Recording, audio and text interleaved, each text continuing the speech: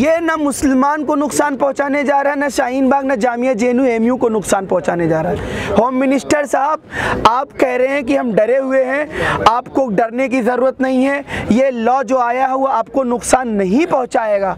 माननीय home minister साहब, हाथ जोड़ के आपसे कह रहा हूँ, ये लॉ हमें मालूम है, हमें नुकसान नहीं पहुँचा रहा है। ये लॉ हिंदुस्तान के संविधान को नुकसान पहुँचाने जा रहा है। इसलिए हम रोडों पे है। अगर मुझे नुकसान पहुँचाने की बात होती तो हम 370 पे भी निकलते। बाबरी मस्जिद मेरी आँखों के सामने शहीद कर दी गई, उस पर भी निकलते। मेरी शरिया लॉ को तुमने छेड़ा, उस पर भी निकलते। नुकसान तो इन सत्तर सालों में हमने बहुत कुछ देखा, लेकिन हम नहीं निकले।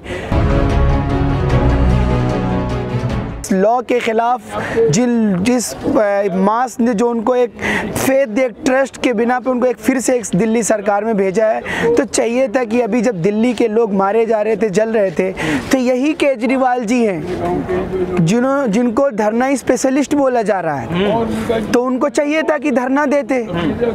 सिर्फ़ हमारे लिए कंडोल कर देना या बयान दे देना, हमारी जानें वापस नहीं जाएँगी दिल्ली जल गई, दिल्ली का असली चेहरा दुनिया के सामने में बेनकाब किया गया। इस दिल्ली के चेहरे को डिफेम करने की साजिश करने वालों को, जिन लोगों ने कि ये काम किया है, बताओ ये दिल्ली के चेहरे को हम कैसे रिस्टोर कर पाएँगे? सवाल इस बात का है ना, अगर हम दुनिया के सामने अपने इस इंडिया का एक फेस रख रहे हैं, हमारे इस दिल्ली का, हमारे मुल्क का एक चेहरा है कि जहाँ पर सभी धर्मों के लोग सर्वधर्मा संभाव के कॉन्सेप्ट पे रहते हैं। आज इस दिल्ली के लोगों को जला दिया गया, दिल्ली के एक हिस्से हिस्से को जब एक हमारे देश में अमेरिका के प्राइम मिनिस्टर, अमेरिका के प्रेसिडेंट हमारे प्राइम मिनिस्टर के साथ मीटिंग कर रहे थे तो दूसरी तरफ़ दिल्ली जल रही थी। इसके लिए कौन जिम्मेदार है? अब तो जिनकी जाने गई, जानों में सिर्फ़ मुस्लिम नहीं मरा, सर। हिंदू नहीं मरा, सिख नहीं मरा, क्रिश्चियन नहीं मरा, इसमें हिंदुस्तानी मरा है। इसमें जो खून बहा है, उसका कलर रंग, उसका रंग लाल था। मैं सवाल सिर्फ़ ये जानना चाहता हूँ कि इस हिंदुस्तान की जो संविधान है। इसका गला रेत दिया गया। दिल्ली में लोग मरे, इसकी बयानात देने से किसी की जाने वापस नहीं होंगी। मरा कौन? उसका एहतजाजों से कुछ रिश्ता नहीं था, कुछ लेना देना नहीं था। कोई फल बेच रहा था, कोई सब्ज़ी बेच रहा था, कोई गैरेज में काम कर रहा था, कोई ऑटो रिक्शा का ड्राइवर था। वो लोग मरे।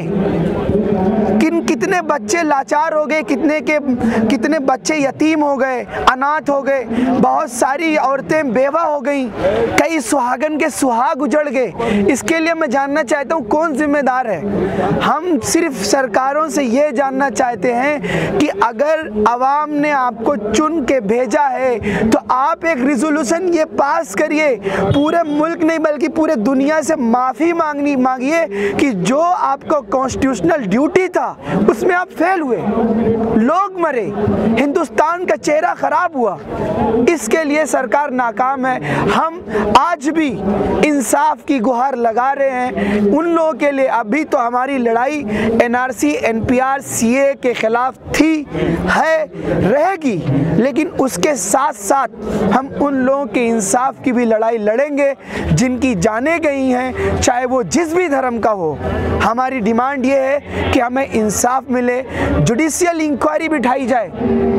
इंस्टीट्यूशन की धज्जियाँ रहती जा, धज्जियाँ उड़ाई जा रही हैं। ये सब क्या हो रहा है मुल्क में? जैसे इसके तबादले रेंडमली हो रहे हैं। अगर मुल्क की जो रूह है इसकी थॉस है, इसका प्लुरलिज्म है, जो इसकी रूल ऑफ़ लॉ है, इसको तोड़ा जा रहा है। ये टूट जाएगा ना, मुल्क टूट जाएगा।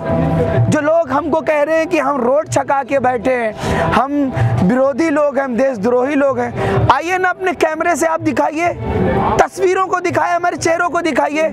हमारे हाथ में पत्थर नहीं है। कपिल गुज्जर की तरह हमारे हाथ में पिस्टल नहीं है। हमारे हाथ में एक हाथ में संविधान, दूसरे हाथ में तिरंगा है।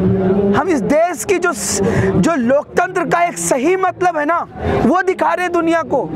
अगर एक 80 साल की बुढ़िया एहतजाज कर रही है ना तो वो जमहूरियत का असली माना, असली चेहरा दुनिया को दिखा रही है। अगर हमें इस लिबरल डेमोक्रेसी पर यकीन नहीं होता तो हम अपने हाथों में तिरंगा ना लेकर डंडे लेके आते लेकिन नहीं, हमें यकीन है इस जमहूरियत में, इस लोकतंत्र में कि कोई होगा सुप्रीम कोर्ट के रूप में, सुप्रीम कोर्ट के चेहरे में जो हमको इंसाफ दिलाएगा, जो हमको इस कानून पे स्टे ला के कहेगा कि नहीं, तुम अपने घरों पे जाओ, तुम्हें घबराने की ज़रूरत नहीं है। ये कानून संविधान के खिलाफ है। Article 14 article 15 article 19 article 21 article 25 article 30 article 5 और तो और छोड़ो प्रियम्बल के खिलाफ जो ये कहता है we the people of India having solemnly resolved to constitute India into sovereign, socialist, secular democratic republic. Once the nation is secular, constitution is secular, preamble is secular, people are secular, why government is making a law which is communal? You cannot make a law which discriminate on the, on the basis of religion. And during this 70 year of this democratic India no law has been passed on religious line we will never ever let to this happen and we will fight for this democratic right this is our country we will never ever allow this government to break this country Amit Shah ji मिलने से इनकार क्यों कर रहे हैं शाहीन बाग के लोगों से जो प्रोटेस्टर्स हैं उनसे मिलने से इनकार क्यों करें अमित शाह जी सर ये सवाल तो आपका है ना आप करिए उनसे यही तो हम भी जानना चाहते हैं कि मिलने से क्यों इनकार कर रहे हैं? अगर सर, आपका मैं टीवी चैनल का नाम नहीं जानता, नेशनल मीडिया चैनल्स जो हैं, अगर उनमें दम है तो ये सवाल वो क्यों नहीं पूछते कि आदरणीय हमारे होम मिनिस्टर साहब इन पागलों से क्यों नहीं मिलना चाहते? इन बेस बे, इन, बे, इन जो इनके चेहरों पे मायूसी है एक आसिया मेरी बहन अपने गोद में अपने तीन महीने के बच्चे को उसकी जान को अपनी गोद में उसकी जान को परवास होते देखी है। आदरणीय होम मिनिस्टर साहब क्यों नहीं मिलते आसिया से आके? कि मेरी बहन तुम क्यों अपने बच्चों को कुर्बान कर रही हो? तुम भी तो नागरिक हो भारत की। बताओ तुम्हें क्या तकलीफ़ है? आओ इन लोगों के चेहरों चेहरे पढ़ो ना। अगर इन लोगों का पहुँच होम मिनिस्टर के ऑफ़िस तक नहीं है इनका अप्रोच होम मिनिस्टर साहब तक नहीं है। तो नेशनल मीडिया चैनल से रिक्वेस्ट करता हूँ ना, ये सवाल आप करिए ना होम मिनिस्टर साहब से। आप कोरोना वायरस में उलझे हुए हैं। आप तो तमाम तफरी की चीज़ें दिखाते हैं ना ये काम मीडिया करेंगे आप बताएँ मुझे। आ, हमारे मुल्क में लोग मर रहे हैं कानून की वजह से उसके एहतजाज में लोग मारे जा रहे हैं। तो ये सवाल मीडिया का है ना कि मीडिया पूछे कि होम मिनिस्टर साहब से कि आपको क्या शर्म आ रही है? एक होम मिनिस्टर हमारे देश के अगर दिल्ली इलेक्शन में डोर टू डोर घर घर जाके पर्चा बांट सकते हैं एक एक लाख की तादाद यहाँ पे बैठी हुई है। आप यहाँ अगर आ नहीं सकते तो हमें बुला लीजिए ना अपने ऑफ़िस, हम चले आ रहे हैं। यही तो हम जानना चाहते हैं, क्यों नहीं बात करना चाहते? अगर सरकार ये चाह रही है कि सबका साथ, सबका विश्वास तो बुलाओ ना, हमको भी, हमसे भी बात करो।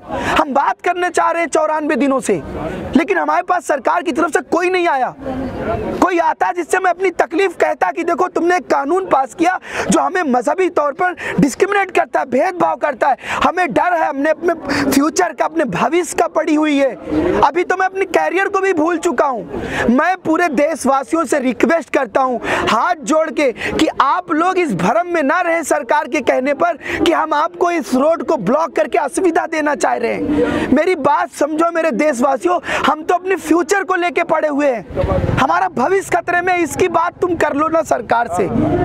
हम ये चाह रहे हैं, अगर एक होम मिनिस्टर साहब डोर डोर टू घर घर दरवाजों पे दिल्ली के इलेक्शन में पर्चा सकते हैं तो इन देशवासियों से बात नहीं कर सकते। जो सरकार का कहना ये है, जिस सरकार का जब ये पावर में आए तो ये नारा दे के आए, सबका साथ, सबका विश्वास। मुझे तो लगता है, मेरी कौम से सबका साथ, सबका विश्वास नहीं, बल्कि सबके, कुछ लोगों के साथ विश्वासघात। ये हो रहा है। दो तीन दिन पहले राज्यसभा में उन्होंने कहा कि इस नुकसान से गुलाम अभी आज़ाद नबी जी को कह रहे थे।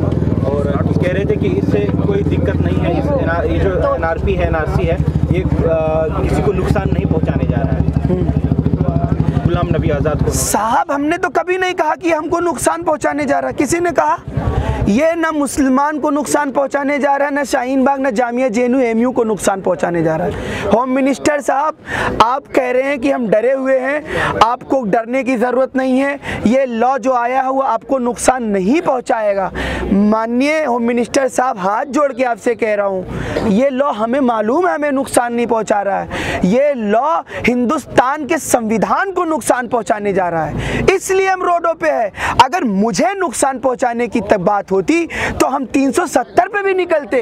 बाबरी मस्जिद मेरी आँखों के सामने शहीद कर दी गई, उस पर भी निकलते। मेरी शरिया लॉ को तुमने छेड़ा, उस पर भी निकलते। नुकसान तो इन सत्तर सालों में हमने बहुत कुछ देखा, लेकिन हम नहीं निकले। हमें ज़रूर, हमें पता चला कि हम मुल्क में अमन बरकरार रहे, हम अमन के खातिर अमन की ज़रूरत थी तो हम चुप रहे। लेकिन आज क्यों नहीं चुप हैं? आज तुम हमें नहीं नुकसान पहुँचा रहे हो। संविधान को नुकसान पहुँचा रहे हो, जिसके लिए हम ज़िंदा हैं, जिसके लिए हम मर जाएँगे, इसको नहीं टूटने देंगे। इसलिए हम बोल रहे हैं, सर, और हम डरे नहीं हैं, और हम डरे नहीं हैं। ये लॉ जो तुम एनपीआर और एनआरसी की बात कर रहे हैं कि नहीं आएगी, अरे आप पे कैसे यकीन कर लें? अंग्रेज़ी में 26 लेटर होते हैं डी न लगा के सी लिख सकते हैं बी लिख सकते हैं। कैसे, किन बातों पे आपकी यकीन करें? हैं? आप लिख के क्यों नहीं दे दे रहे हैं? अगर आप में कॉन्फिडेंस है, हम में अतमाद में लेना चाह रहे हो, हम में कॉन्फिडेंस में लेना चाह रहे हो तो फखर के साथ कहो ना कि जितने लोग एहतजाज कर रहे हैं सब मेरे देश के लोग हैं, उनको डरने की ज़रूरत नहीं। मैं अमित शाह लिख के देता हूँ कि एनआरसी नहीं आएगी, लेकिन नहीं, मुझे पता है कि आपकी सोच, आपकी विचारधारा इस मुल्क को किस रास्ते पे ले जाना चाहती है। हम आपकी क्रोनोलॉजी को समझ रहे हैं। हम मुसलमान तो हैं, लेकिन पढ़े लिखे हैं। खास करके शाहीन बाग शुक्रिया। Thank you